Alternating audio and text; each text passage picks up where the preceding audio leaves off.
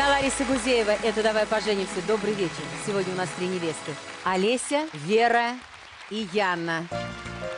Жених у нас Роман. Здравствуйте, Лариса. Здравствуйте, проходите. Роман, 35 лет. Взял в жены девушку легкого поведения, но когда понял, что она не может стать примерной женой, принял решение разойтись. Роман – менеджер по рекламе в частном бизнесе. Гордится тем, что помогает пожилым людям. Мечтает купить старый деревянный дом за городом. Предупреждает, что не сможет зачать ребенка естественным путем. Роман не видит рядом с собой агрессивную блондинку недалекого ума. Женится на красивой, активной девушке, которая чувствует себя уверенно за рулем автомобиля, имеет свое хобби и умеет любить. Здравствуйте. Здравствуйте, Лариса. Я вот думаю, Роман, когда женится на девицах легкого поведения, через какое время вы хотели, чтобы произошло чудо, и она превратилась в прекрасную хозяйку, в маму? Конечно, нет. А вот э, ваша тросточка – это м, такой Ну, так реквизит, взял. атрибут для красоты? Да, да, Знаете, да. как тот старый солдат, который не знает слов любви. Или она вам, э, может быть, там ну, у вас… дай, думаю, похромаю, возьму там, поприбедняюсь, что ли. Правильно, потому что, послушайте, во-первых, девушка и жалость равняется любовь. Но если жалость как объекту определенному, то что мы любим пожалеть, правда же, Рос? Палочка, я не поняла, зачем палочка. Ну ладно, это его личное дело, палочка и палочка. Ну, давайте рассказывайте про свою Как мы с ней познакомились? в библиотеке. Нет, не в библиотеке. Я э, работал грузчиком на хлебозаводе, машинку, я помню, себе купил, и уже тогда, это был 2006 или 2005 год, и уже не было смысла там работать, потому что я зарабатывал, бомбил, зарабатывал достаточно неплохие деньги по сравнению с тем, что я получал э, на хлебозаводе. И в один прекрасный момент э, взял на борт двух мужчин и девочку. И когда я их отвез, э, и уже вез ее, вот она мне сказала, что, что ты такой весь такой общительный, такой нормальный, такой милый, такой веселый. А, чешет, чешет, чешет, по ушам ездит, ездит, ездит, ездит. Я не выдерживаю, говорю, слушай, так забери меня и воспитывай. А, Но я очень удивился ответу, когда она повернулась на меня, смотрела томным, спокойным взглядом, сказала, хорошо, поехали. Я понял, что приехали. Ужас какой. Ужасный диалект, я бы сказала. Поначалу все было как в сказке, все красиво. Я с цветами, но с цветами это я постоянно с цветами. Я только к вам без цветов. Ну, понимаете, я вот думал, э, подарить вам цветы или нет, но я понимаю, что ну, брю- вам, вам про брюлики цветы. надо. Давайте не про цветы. Ну так и что там? А, В общем, что там? А, Жили какое-то время. Спустя небольшой промежуток времени, я помню, это полгода где-то, она забеременела. И пошел вот этот сумасшедший токсикоз. То есть в один прекрасный день я был э, вышвырнут за дверь, летел громко, далеко, все было, все как полагается, характер атомный там. Там, Ларис, характер, знаете, вот как вот вы и Роза, что-то разделить пополам. Вот такой Откуда вот вы офи- знаете, какой у меня характер? А вы умеете быть острой, умеете быть жесткой, Мне за это деньги милой. платят. Я в жизни совершенно абсолютно к этому персонажу не имею очень никакого милый и добрый человек. Кстати, гора- Нет, я не милая, не добрая. Я просто хочу э, уже призвать вас не путать э, мою работу и мою приватную жизнь. Хорошо, не будем. Да. Вернемся. У нее характер, как у Розы, понятно. Она не так много молчала. Ну, вполне роман очень такой позитивный и приятный. И прям мужчина-мужчина чувствуется это в нем. Вы договорились делать аборт или рожать ребенка? А без меня сделали аборт. Ну, как бы меня никто не спрашивал, я не был рядом. Ну, ясно. Вот. И какие выводы вы сделали, когда уже все было под завязку? Э, ну, что у под вас завя- и ничего не получится? Какие выводы я сделал? Я сделал выводы, что, наверное, на обложку вестись уже не надо. Это, во-первых. Во-вторых, э, я ошибся в девочке в том отношении, что, знаете, а- нет, хотя какие выводы? Мне было, были моменты, когда было хорошо. Конечно, Было. можно было жить с учительницей начальных классах, и она Так могла оказаться познакомься. стервой. Э, Дело же, ну еще раз говорю, профессия одно, характер это другое, жить нужно с характером. По нему вообще непонятно, любил он по-настоящему когда-то или не любил. Роман, почему вы не можете зачать ребенка естественным путем? А, Потому что были курсы химиотерапии, онкологическое заболевание, а, которое пока продолжается, но, э, наверное, Бог миловал, не рак, потому что многие люди думают, что Пугаются. онкологическое заболевание это только рак. Нет, это, конечно, не рак, это разные подвиды. А может, надо было сначала вылечиться, а потом уже желать красивую, молодую? А сердцу не приказать. Вот хочу. Мало Уже что устал хочу. кричать. Я тоже хочу. Хочу на, помолодеть на 30 лет хочу. А И вот- что? А ты что предлагаешь? А давайте посмотрим, как вы хотите. Давайте. Сейчас мы находимся на балконе, там, где я живу. Высоко, красиво и все такое, но не это важно. Важно то, что здесь самое чистое место у меня дома. Больше чистых мест нет. Потому что я живу один, в общем-то я холостяк. Я очень надеюсь, что программа «Давай поженимся» и вы, Лариса, поможете мне найти того человека, который будет помогать мне во всем и станет мне в том числе и близким другом. Потому что готовить я люблю, а что касается мытья посуды, это не мое дело. Ну не люблю я это.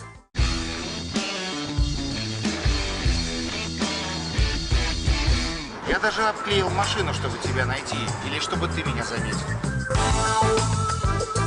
А на «Давай поженимся» я еду с одной только целью, чтобы встретить тебя.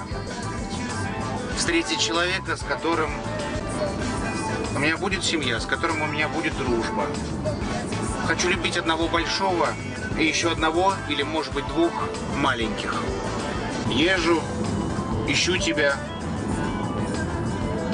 Уже полтора года так. Привет, девочка, которую я не знаю. Я в самом сердце города мечты. Сижу в ресторане один, тебя нет.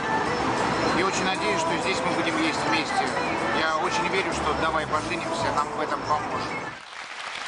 Ром, ну надо как-то было взять себя в руки, ну хотя бы пустить пыль в глаза. Ну, представляете, вы приведете женщину в дом. А там уже уборщица была. Ну хорошо, ну потому Причем, что... это- когда она туда пришла, вот э, единственное, что да, там было очень страшно, и у нее волосы дыбом встали. А почему? Почему Везде. такое? Это что, депрессия? Нет, э, есть вещи, которые я люблю, есть вещи, которые Есть я такое не могу. неуважение. А себя вы любите? Себя немножко. Ну, пускай меня лучше любит девочка. Послушайте, ну это такое неуважение к себе, а вот жить в таком кошмаре, в, в такой грязи. Ну это нехорошо, ну нужно же все делать поэтапно. Сначала, знаете, как я терпеть не могу цитировать Экзюпери, и не люблю людей, которые э, его цитируют, особенно про приручение. Но сначала нужно как-то, мне кажется, в саду в своем прибраться самому. А потом уже туда приглашать. Но это ужас ужасный. Я не могу себе представить. А может Потом, если бы вы были без рук, без ног, это одна история. А потом на что надеетесь? Ну, понятно, вот вас сейчас девушка пожалеет. Да, вот смотрите у вас. А жалеть а, не надо. а тогда что? Вот, представляете, вот вы назвали, обозначили свою болезнь, но при этом сказали бы, послушай, дорогая, я абсолютно э, живуч. Посмотри, как у меня дома клево, сколько у меня цветов. Посмотри, какая у меня чистота и порядок. Я давно тебя жду. Я хочу, чтобы тебе в моей квартире было уютно. И так будет всегда. Я буду тебе помогать. Ну, женщина же любит э, э, все эти обещания. Мне, конечно, честно его жалко, но свою жизнь связывать с таким человеком я не хочу. Мама сейчас живет с вами? Нет, отдельно снимаю квартиру. Но А, вы родителей же вас надо любить э, квартиру. на расстоянии. Ну, это грубо. А, ма- а Ну, мам- мама ну, квартиру... У некоторым родителям везет, как мне, например. Мы в прилепушку, например, с детьми. Поэтому... Это мама снимает квартиру? Нет, это я снимаю квартиру. Мама, она живет. А мама э, москвичка, да? Нет, мама из Ленинграда. А, Коренная. А вы в Москве живете? Нет, я приехал вот на машине из А, э, то есть вы в Питере сюда. снимаете квартиру? Да, конечно, рядом с мамой. Вот. Да. У него еще квартиры нет. Роман, каждый человек, конечно, имеет право на счастье. И вот вы сидите, и чем больше хорохоритесь, тем я э, ну, глубже понимаю вашу проблему и вижу Проблема ваши есть. глаза, и ваше одиночество, и, конечно, бешеное желание жениться и оставить после себя. Я понимаю, что вы готовы. Конечно, вот эта история с грязной посудой, я так думаю, это знаете, тоже для красного словца. А полюбите меня вот таким вот череньким. Совершенно и, конечно, верно. все самое плохое, что у вас есть, вы уже а, выплюнули в первые минуты. Это так бывает. Ларис, ну я тоже же- всегда, нет, я тоже, э, Хаис жалею сейчас об этом, я тоже... Любит же не за э, что-то, а по мол- вопреки. Нет, неправда, любит за что-то. Я тоже многие годы по молодости хотела всем казаться, какая я ужасная, какая ужасная дрянь. И я в основном на себя наговаривала. И что я вытворяла, это не пожалуйста. Это же от боли. Когда внутри так больно и неспокойно, хочется Вот это вот, понимаешь? Это как Настасья Филипповна, когда сжигала деньги, потому что боль такая невозможная, когда ты жить не можешь дальше. Обязательно нужно совершить какой-то поступок. У вас не поступки, у вас такие поступчики, потому что внутри болит, а я хочу, чтобы у вас не болело. Я хочу, чтобы вы влюбились, я хочу, чтобы вы правда отсюда ушли, потому что вы... Уехал. И уехал вместе Да, с потому ней. что вы эм, перед программой были в очень таком возбужденном виде. Вы имеете право. Я хочу вам пожелать здоровья. Я вам хочу пожелать, чтобы вы жили. Я понимаю состояние вашей мамы, которая трепещет внутри, как, ос- как, как листок осиновый, понимаете? Возможно, сейчас И она которая смотрит и думает, мамочка что же сейчас, будет как дальше. ее зовут? Евгения Борисовна. Евгения Борисовна, дорогая моя, держитесь, у вас все будет хорошо, увидите. У вашего сыночки здоровый взгляд, у него есть дикое желание жить, и он будет жить, потому что он внутренне не смирился ни с чем. Вот и все. И пройдет еще сто лет, вы приедете к нам на столетнюю юбилейную, юбилейную программу. А, но дев- девушка, которая придет сегодня за вас бороться, она не виновата ни в чем. Она тоже дрожит, ей тоже страшно, она тоже И хочет тоже любви. хочет любить. Потеплейте глазами, потеплейте сердцем. Вас никто не будет обижать. Хорошо? Для этого осталось чуть-чуть ее встретить. Ее найти. Мне вообще нравится его позиция, что он очень откровенный, э, показал свою жизнь без прикрас, да, и вот его это намерение найти жену. Но единственное, может быть, он где-то лукавит. Что звезды?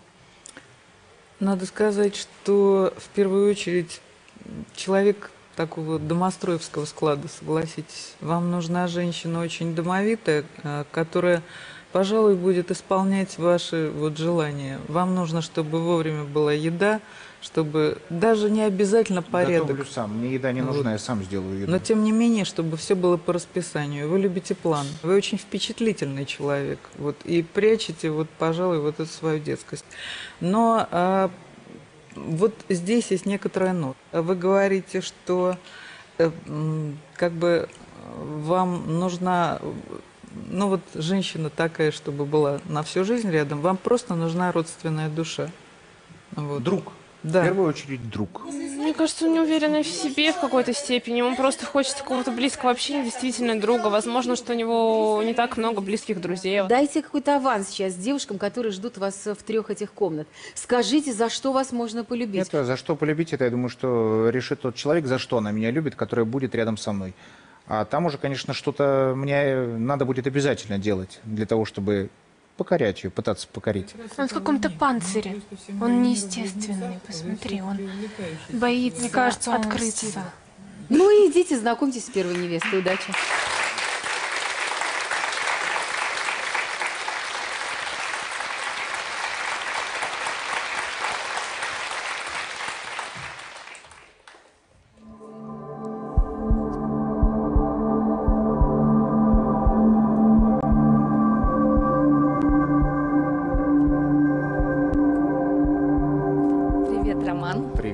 Зовут Олеся, и я надеюсь, что наше знакомство будет интересным. Очень приятно. Взаимно. Пойдем. Пойдем. Олеся, 30 лет. Руководитель отдела в сфере продаж. Играет на флейте, вяжет крючком и вышивает крестиком. Мечтает открыть школу прикладного искусства. Гордится тем, что не зависит от мнения окружающих. Признается, что не может иметь детей. Олеся не приняла предложение руки и сердца от своего возлюбленного, а с чужим мужем смогла почувствовать себя счастливой. Надеется, что Роман знает, чего хочет женщина. Здравствуйте. Здравствуйте. Ну что, не успели букетик-то вручить? Потому Не что успел. нервничали. Ну, сейчас вручите. Вручу. Александр. Да. Такой красивый мужчина и друг. Как-то мы боимся таких друзей. Ну, я, во-первых, не совсем друг, мы еще и коллеги по работе, поэтому я Олесю приехал поддержать на передачу. А вы женаты, у вас есть женщина, невеста, девушка? Ну, я живу гражданским браком, у меня любовь-любовь, у меня все в порядке, и все то есть хорошо. не ревнует вас? Нет, колесе? Э, Ну, определенная ревность была, когда мы собирались на передачу. Да.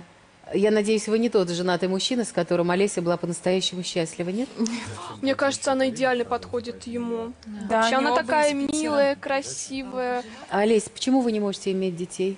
А, потому что я пережила заболевание, так же, как и Роман. У меня была онкология.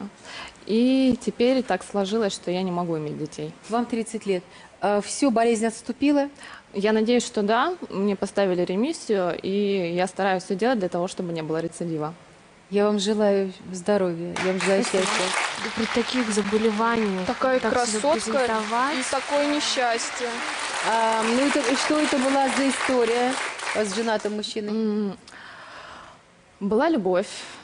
Узнала, ну, как водится, не сразу, конечно, о том, что он женат. А, Когда узнала, сложно было отказаться, потому что а, подумала, такой шанс выпадает крайне редко испытать это чувство.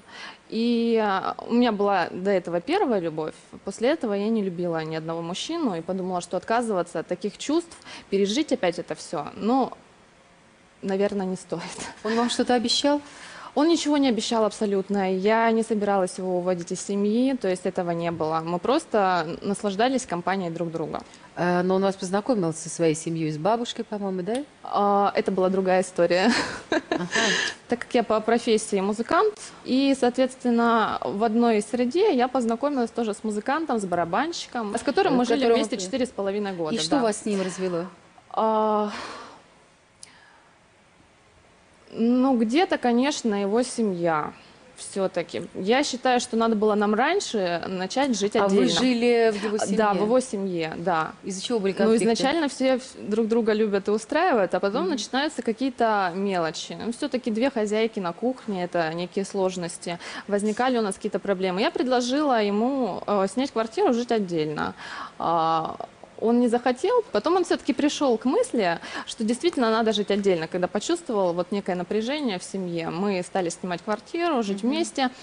А, но потом настал какой-то момент, а, он уже не раз делал мне предложение, и я начала задумываться, почему же я все-таки не даю согласия. То есть я нет не говорю, и согласия не даю.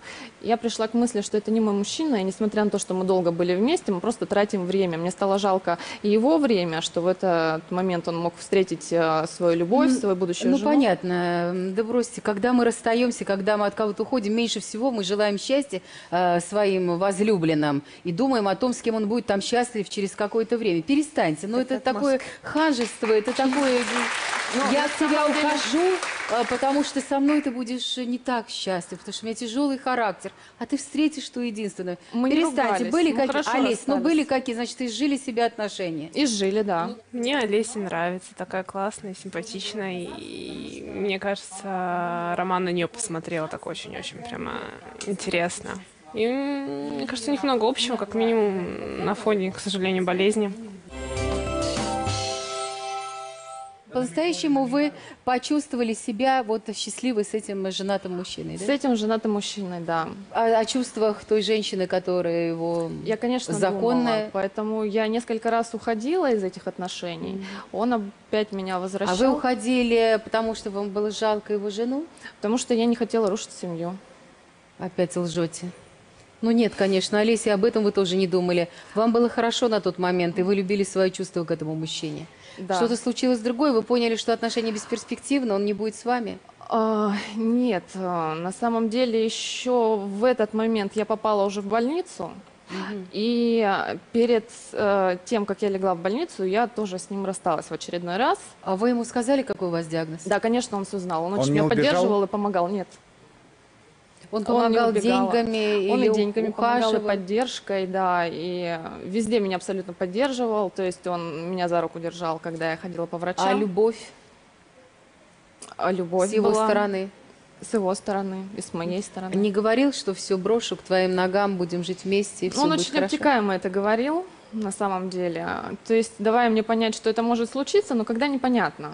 И когда он начал это говорить, я... И чем эта история закончилась? Э, История закончилась тем, что мы расстались окончательно, а, но через какое-то время он мне сообщил, что он ушел из семьи. Не знаю, насколько это правда. Ну, она, смотри, с женатым жила. Это же тоже такой грех Ну, считается. это да, но я не хочу ее судить, как бы, да, все ошибаются, всем свойственно ошибаться. Ну и что же вы? Ушел из семьи, свободный человек. Почему? уже Ну, я прошла уже приняла любовь? решение. Нет, и- прошла любовь с вашей стороны или Да, что? она прошла. Хорошо, давайте сейчас говорить о в этой минуте. Роман очень хочет жениться. Три- ему 35 лет, вам 30.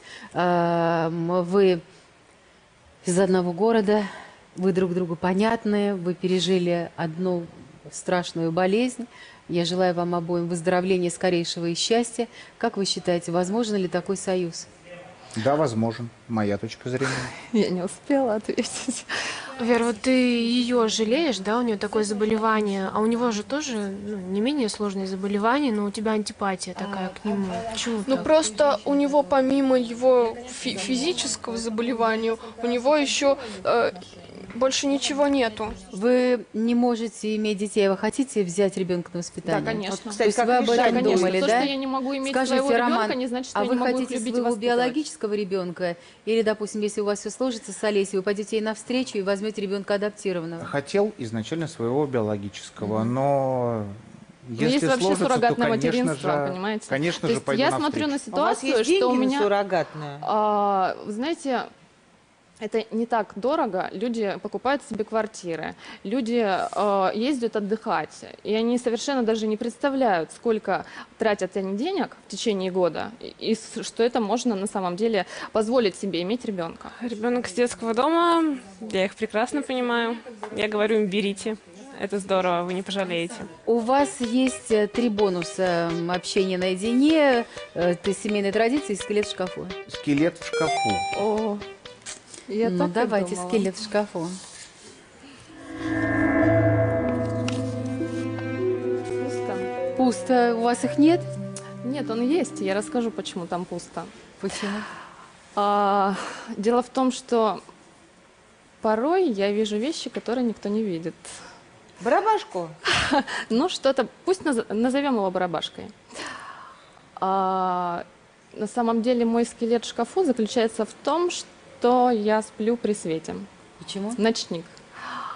Потому что перед тем, как я узнала свой диагноз накануне, а, меня порой стали мучить, скажем, что-то среднее, вроде кошмары и видение. А, После того, как я с больницы вышла, это прекратилось, но привычка осталась. Спать А сюрприз приготовили? Да, конечно. Пожалуйста, дайте посмотрим. В церковь надо помолиться, причаститься, исповедоваться. Пересмотреть И- взгляды на жизнь. Да. какие-то. И барабашки уйдут. Да.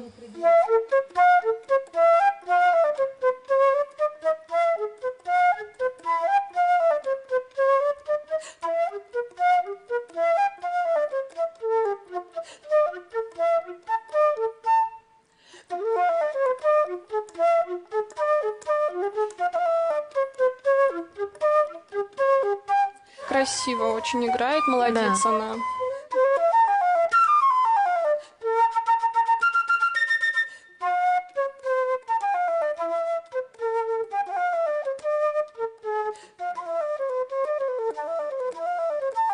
А Она так красиво играет, а он так смотрит на нее. Мне кажется, он еле-еле сдерживает слезы, серьезно. Браво. Спасибо большое вам. Спасибо. Спасибо. Олеся, если бы вы видели, как на вас смотрели эти двое мужчин. Александр, конечно, у вас влюблен. Это... Ладно, не подрывай авторитет перед И женой. это просто считывалось, как он на вас смотрел, какими глазами. И даже Роман был в вас влюблен, когда вы были на сцене. Дорогая моя, было. забирайте цветы и проходите с своим другом в комнату. Я видела, что вы растроганы, Роман. Вам это вам нравилось все. А, ну, растроган я больше не музыкальным исполнением. Ну, я тоже играю на фортепиано, на аккордеоне. Это ну, музыкальная школа была. А растроган, конечно, общей проблемой. Какими? Ну, тем, что девочка прошла, прошла через то, через что я сейчас прохожу. И этот союз возможен, правда? Этот союз возможен, возможен. Но у меня впереди еще две невесты. Проходите, знакомьтесь со второй невестой. Цветочки не забудьте.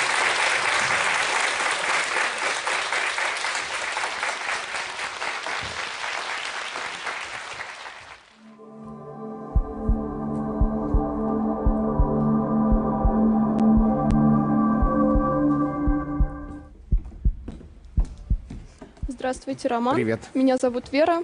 Вам очень повезло, что вы встретились со мной. Надеюсь, что и вы меня тоже не разочаруете. Постараюсь не разочаровывать. Ой, спасибо. Пойдем. Ой. Вера, 23 года. помощник юриста, подрабатывает моделью и интересуется политикой, гордится титулами «Краса Поволжья» и «Вице-мисс Нижний Новгород». Признается, что после развода родителей не доверяет мужчинам. Узнав о предательстве возлюбленного, Вера не позволила себе долго страдать, а принялась за разработку плана мести. Надеется, что роман не будет ее расстраивать.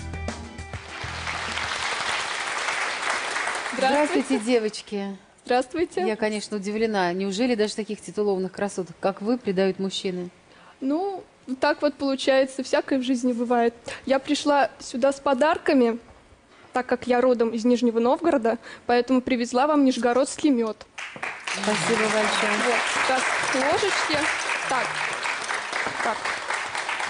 Вам- Ну, мы прямо его здесь А, есть не да, будем. Да, да, мед. Это Почему специально от моей бабушки. Она постоянно смотрит вашу передачу. Молодец, с подарками пришла. Значит, вот это самое предательство случилось еще до того, как вас титуловали. Не- Ну да, ну как сказать, предательство. Это была моя первая любовь. Мне было 18 лет, и тут мне однажды его друзья говорят, Вера, ты знаешь, вот он гуляет с тобой, а проводит время свое с другой девочкой. Для меня это был шок. Я подхожу к нему, говорю, это правда? Он говорит, да, тебя что-то не устраивает? Я говорю, ну, извини меня, я молодая, я не хочу э, мириться с этим. Он говорит, ну, Если ты не хочешь мириться с этим, то живи сама по себе. А я уже привыкла, я влюбилась, вот. И в один момент мне его друг, опять же, говорит, вот ты знаешь, вот он сидит тут а, в ресторанчике одном с этой девочкой самой. Ну, у меня эмоции, конечно, э, максимализм мой юношеский. И я, в общем, Ворвалась? ворвалась, да, и девочку немножечко побила. Но я сейчас не такая, это было... А э, немножечко это как? Да, ну, я немножко, нокаут я, прямо? я сзади подкралась, и вот так вот немножечко ее... даем. Да. Ну, она понимает, что у нее он юношеский, этот максимализм. А может быть, это в пику ему вы стали участвовать в конкурсе красоты и А, получили вы знаете, вице-мисс? Может быть, мне захотелось доказать, что я лучше. А, Захотелось как-то себя проявить. Я стала участвовать одни- один за другим в конкурсах. У меня стали появляться титулы. Вот, и я как-то...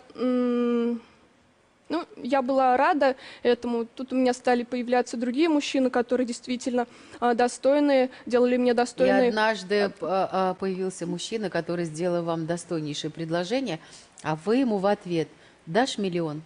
Или сколько вы Э, там сказали? Ну, ну, это Рублей. да. Ну да, это такая смешная история, да. Я, я просто я не ожидала. Расскажите. Я не ожидала, что он согласится даже. Рассказывайте, к вам подходит дядька 40-летний и говорит, что? Говорит, девушка, ну, может быть, вы постеснялись там при людях как-то да, со мной согласиться. Поужинать, просто поговорить. Вот. Нет, я говорю. Говорит, ну что я должен сделать, чтобы вы согласились со мной просто поужинать? Я говорю, миллион. Он такой. Он подумал, отошел, потом подошел. Вам наличка или на карточку? А как взяли? А как взяли? На карточку? Ну, я, знаете, мне как-то не каждый день такие предложения. Ну, понятно. Вот. И На карточку? взяла. Нет, у меня карточки не Наличными? было. Да.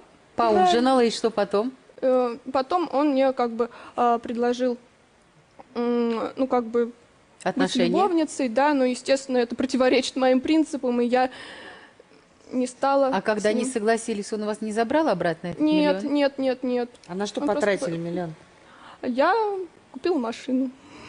Правильно. Ну, Стерв любит, поэтому что у них там получится, не получится, я не знаю. Смотрите, Верочка, вы хороши собой, вам три- 23 года, а у вас вся жизнь впереди. Перед вами сидит потрепанный жизнью Роман. Мне, конечно, без- безусловно, жалко. Я очень добрый человек. Я вижу ваши добрые глаза, вижу, что вы А очень... как вы поняли, что они добрые? Ну, я вижу, что они добрые, какие-то поникшие, такие опущенные глаза. Вот. Но я не Поникшие. собираюсь быть мамкой и нянькой. Э, Извините меня, конечно, А я сказал, еще что мне раз. нужна И мыть посуду. Мне так показалось. Вы же пришли сюда, чтобы найти любовь. Вот. Я просто не увидела, я не увидела. Любовь — это когда вы хотите что-то отдавать. Что вы готовы отдавать взамен? А что бы вы хотели получить? Ну, э, хотя бы не, с- не только съемную квартиру.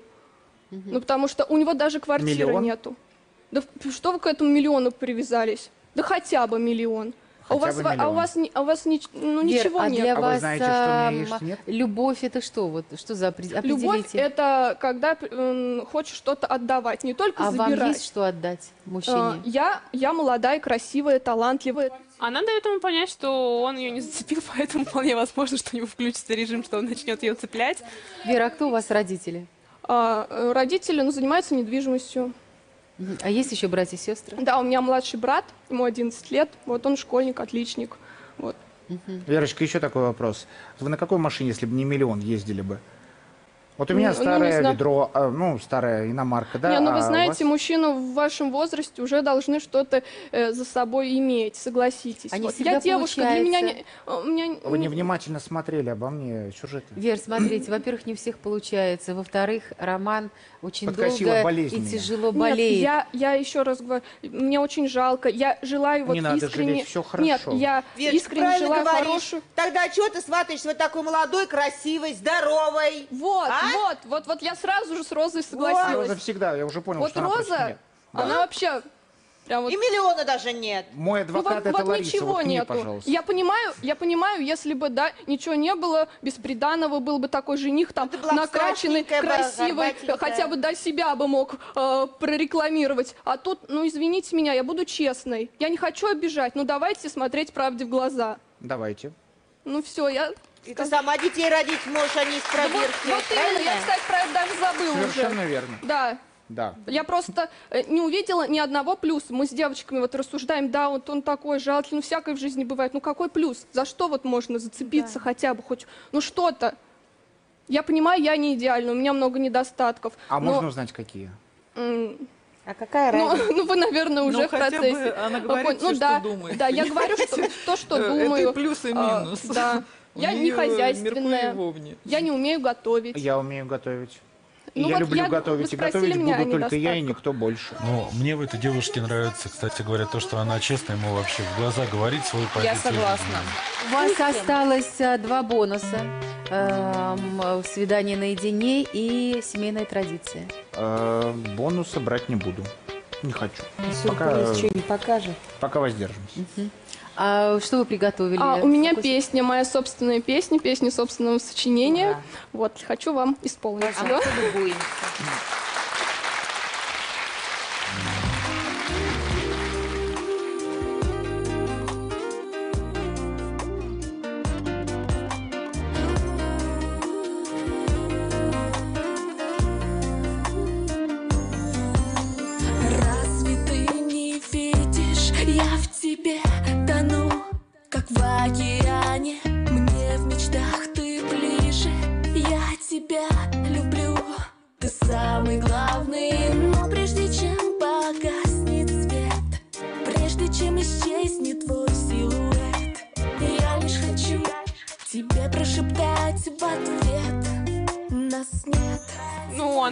как многие поют. нас нет,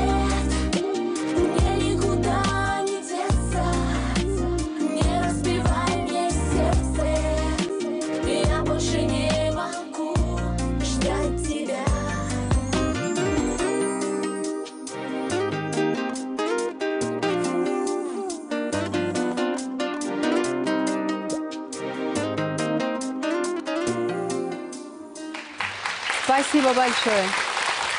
Спасибо, девочки. Не забудьте цветы, пожалуйста. Проходите в А, да. Цветы. Ань, Роман. Как вам, Вера? Ребенок. Маленькая, но э, поет прекрасно, кстати. Песню действительно, то, что сама написала, это потрясающе. Но есть один момент, который вызывает у меня жесткие, ужасные ассоциации. Я взяла миллион. И что? Дают, бери, бьют, беги. Ну, что значит я взяла миллион? Она хорошенькая, безусловно. Но 23 года – это тогда, когда уже душа должна э, проснуться давно. У нее душа в зачаточном состоянии. Понимаете, есть такое понятие, как сострадание.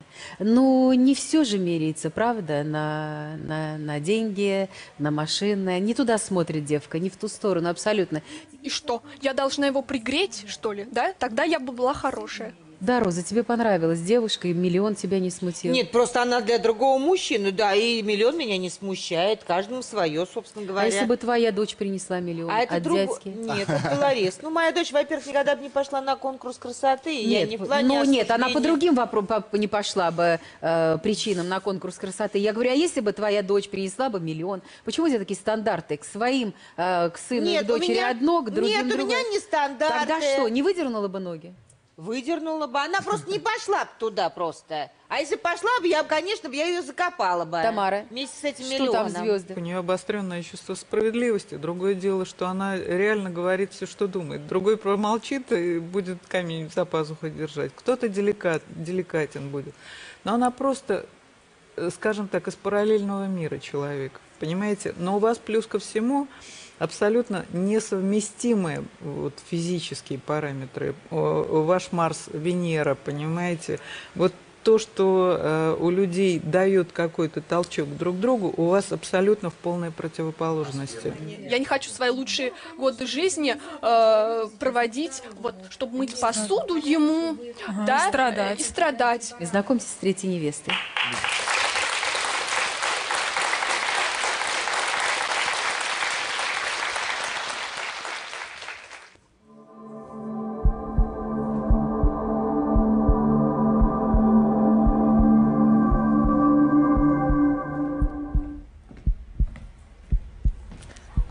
Здравствуйте, Роман. Меня зовут Яна. Очень ждала встречи с вами. Я тоже из Санкт-Петербурга, поэтому привезла вам солнце и тепло. Привет, Яночка. Спасибо. Яна, 23 года. Менеджер по организации мероприятий в государственном учреждении, занимается волонтерской деятельностью, предупреждает, что постоянно протирает в доме пыль, гордится доверительными отношениями с мамой и не представляет своей жизни без мороженого и пончиков. Ее возлюбленный был ярым футбольным фанатом и каждый раз отмечал не только победы, но и поражения любимой команды. Яна надеется, что у Романа здоровые увлечения. Ой, Ян, ну ни для кого не секрет, как яростные фанаты отмечают э, победы и поражения своих любимых команд. А ваш возлюбленный отличался чем-то от этой ба- ба- орущей толпы? Или был такой же, как... Не отличался. Он был Страшное такой же, дело. кричал, всякие нецензурные выражения, лексика. Заинтересуй мужчину так, Да. чтобы он про футбол вообще забыл. Ну, вы же понимали, что с возрастом, наверное, будет отмечать, но все-таки уже темперамент это поутихнет, Ну, нет? С возрастом-то да, но с таким количеством алкоголя даже А, было до того возраста. алкоголь. Ясно. Да, это основополагающее. Ну, Ну, и то есть это то, что вас с ним э, развело? Развело не это, это был один из моментов, когда я уже поняла, что что-то не то. Развело, наверное, то, что я попала прошлым летом в больницу, и я была там 10 дней, и он за эти 10 дней ни разу не приехал. Ну, естественно, мне было от этого немного грустно, я поняла, что все, ну, я так не готова. А как вы Больше. считаете, почему он к вам не приехал? Черствый? Разлюбил Видимо, не вас? так сильно нравилось. Видимо, с друзьями отмечать победу любимой команды гораздо интереснее, чем приехать. Скажите, а что это за история с ребенком в детском доме, по-моему, да? Да, я несколько лет назад работала в детском доме для детей с умственной и физической отсталостью. Это один из самых крупнейших детских домов у нас в России. Для меня очень положительная девушка. А это по вашей профессии, что ли, по учебе? Ну, я закончила факультет психологии, А, специализация то есть, у меня психология менеджмента, но просто я тогда увидела объявление раз, проигнорировала, увидела два, и потом думаю, что-то вот что-то ёкнуло. И я поехала в детский дом и увидела этих детей. Скажу честно, мы поехали туда с моей подружкой утром. До конца дня мы не могли ни есть, ни пить, ни разговаривать, потому что шок, шок был капитальный. Но я никогда в своей жизни не видела таких детей, настолько как бы тяжелых. Ну, мы с ним подумали, что а кто, если не мы? И это, наверное, был один из самых лучших годов в моей жизни. Это замечательные дети. Потому что у вас была девочка, по-моему, да? Да, была девочка, у нее была мама, но она жила в детском доме, потому что мама не могла с ней находиться, потому что девочка с церебральным параличом, с умственной отсталостью, ну, то есть очень тяжелый ребенок. Она жила в детском доме, и я понимаю, что ну, я могу научить ребенка есть саму. Я решила это сделать. 8 месяцев я вместе с ней держала вот так вот ложку, мы ели. И, естественно, для меня это было неимоверное счастье, когда она научилась, когда она сама стала есть. какая победа, да? Ребенка Это была победа, да. Победа моя, победа ребенка, победа мамы, победа всех со- сотрудников Мама участвовала дома. в судьбе этой девочки? Мама, да, на каждые выходные приходила. Мы в течение года с ней ни разу не пересекались, но она всегда передавала мне слова благодарности. Это было очень приятно. И потом я ушла из детского дома, и через два, наверное, месяца я приехала обратно навестить своих ребят, и мне воспитатели сказали, что как ты уехала, она больше не ест сама. Все. Ну, как бы не ест и не ест. И потом, когда настало время обеда, я просто захожу в группу к детям, она меня видит, хотя по ней вообще непонятно. Сама забралась на стул, взяла ложку и стала есть. Ну, тут, естественно, слезы у меня, слезы у воспитателей, слезы у всех. Ну, потому что тогда в такие моменты понимаешь, что все, что бы там ни говорили, это все ерунда. Детей любых, с любыми заболеваниями. Вам сколько можно- сейчас лет? 23. Вот вам 23 и Вере, которая была Совершенно а, до вас, ей 23 года. Вам огромное спасибо. Вы совершенно какое-то а, уникальное создание. Ну а теперь вопрос по существу. Перед вами Роман. Вы молодая, красивая женщина. Ам, Будете вынашивать ребенка Романа, если у вас все сложится? Ну, Вот таким неестественным, непривычным. Нет, там естественно и привычно. Просто искусственное оплодотворение моим биологическим продуктом. Я могу сказать «да». И в моих мечтах вообще еще ребенок из детского дома. А мама А где вы живете? Живу в Санкт-Петербурге с мамой. А где именно? Метро Пионерская. Я на юго-западе. Ну, я по видео узнала знакомые места города. То есть мама не будет возражать относительно зятя? Так раз без мам разберемся. Нет, мы как бы, Что да... значит без мамы разберетесь? Это вы разбираетесь без мамы, а она, он девочка еще. Это вы с мамой договариваться будете. Без мамы он разберется. Ян, ты хочешь испортить себе жизнь со мной? Почему испортить? Опять начинается кокетство. Не хочет она испортить, она хочет счастья. Она хочет построить. Счастье я тоже хочу, Ларис. Мы за этим сюда и пришли. Ну, вообще, очень он заинтересовался ей. Да, очень заинтересовался. Роман, я вас понимаю. Вы хотите, чтобы вас любили череньким. Вы хотите, чтобы вас прям полюбили вместе с грязной посудой и со всем этим набором. Не надо вам этого. Да максимально сделайте, максимально сделайте над собой усилия, чтобы вас было за что любить. Пожалуйста. И забудьте про эту болезнь. Она отступит сама по себе. Хватит уже это в себе пестовать и жалеть э, таким образом самого себя. Посмотрите, красавица какая, фигуристая. Она просто Согласная идеальная. на много. Далеко ехать не надо. Да. И одна И улыбка чего согласна. стоит? Да, красивая девушка. Да. Очень чересчур красивая. Ему, конечно, не по зубам. Извините меня. Про себя я вообще молчу. У вас два бонуса, потому что один вы решили не использовать по отношению к Вере. А свидание наедине и семейная традиция. Семейные традиции. В нашей семье получилось так, что 25 лет назад моя бабушка построила дом сама, своими руками, с помощью моей мамы. Она построила, да, вот этот самый дом. Спустя 15 лет, 5 лет назад, моя мама построила дом на том же участке. Вот он, с помощью моих рук. Они строители, что ли? А, нет, строители делали какие-то основы, это фундамент, еще что-то. А в целом вся планировка, все, все, все, все, все, это сама делала моя мама, учитывая, что у нас нет отца, это достаточно тяжелый процесс. Потому что русская баба. Да, и вот теперь традиция, что спустя, спустя 15 лет моя очередь строить дом. А может, мы все-таки мужа, который Это будет такая пос- традиция, знаешь, у всех у нас, у русских. Дорогая моя. С годами мы становимся теми мужиками, о которых мечтали, да? Да. Приготовили сюрприз? Да, приготовила сюрприз. Ну, кстати, они могут подойти, потому что он хочет вот как раз такое, чтобы было кому поплакать, пожалуйста, а она выполняет такую мужскую функцию. Вот эту картину я нарисовала вместе с, с детьми из детского дома, в котором я работала.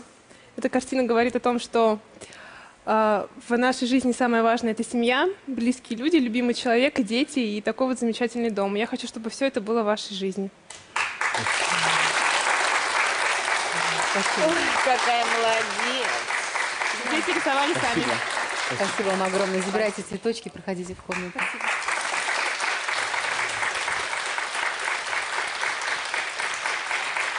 Какие мы все разные, правда? Да. Да. И причем а, еще нахожусь под впечатлением. От кого? От всех трех героинь. А Яна как вам? Очень милая. Понравилась она? Понравилась. Видите женой? Нет, потому что она слишком для меня спокойна.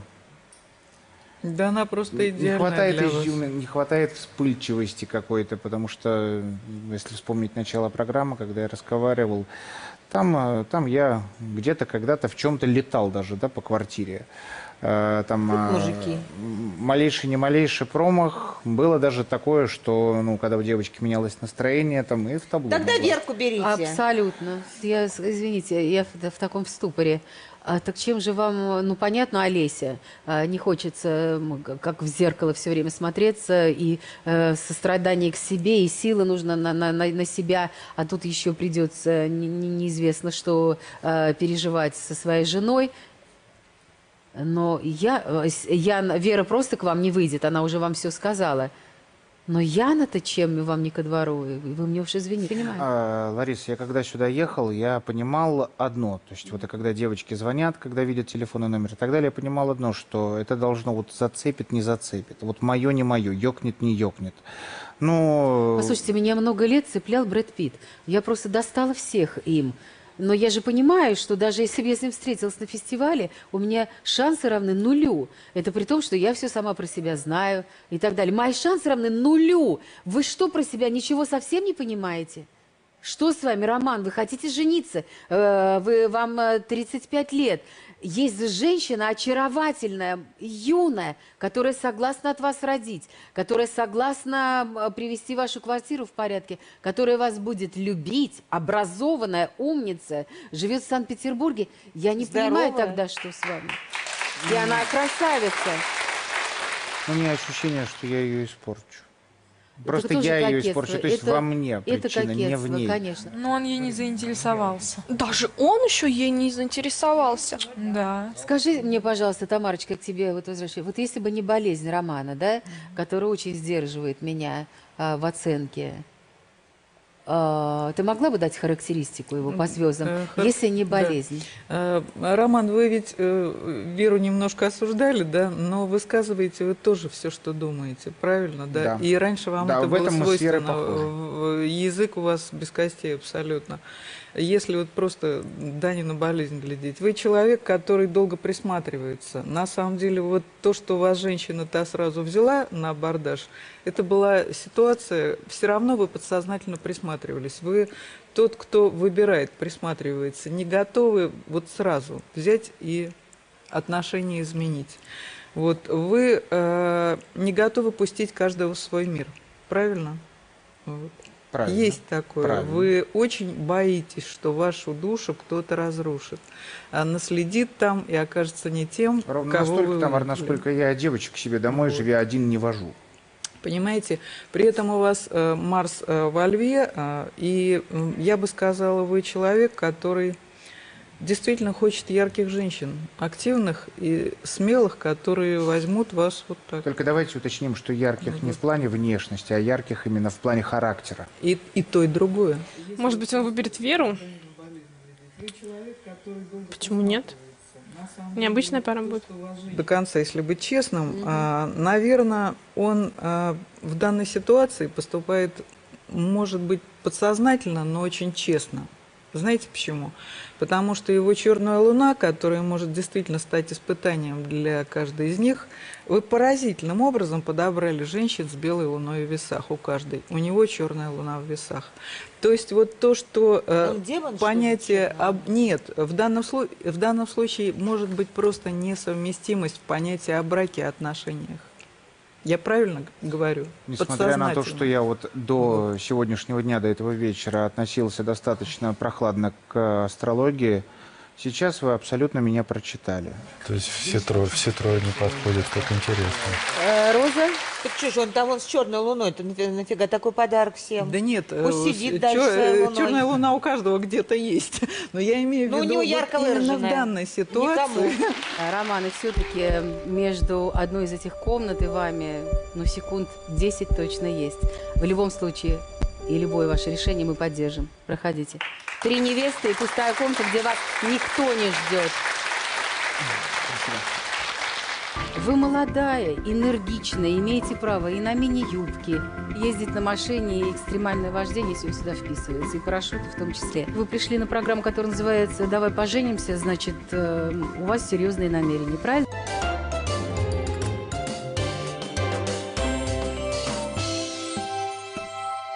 Я приглашаю всех выйти из своих комнат и поддержать Романа.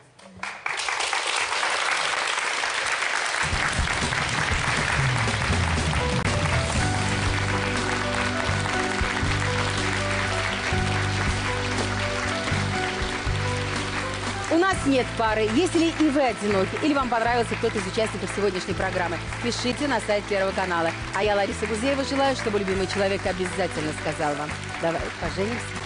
Удачи.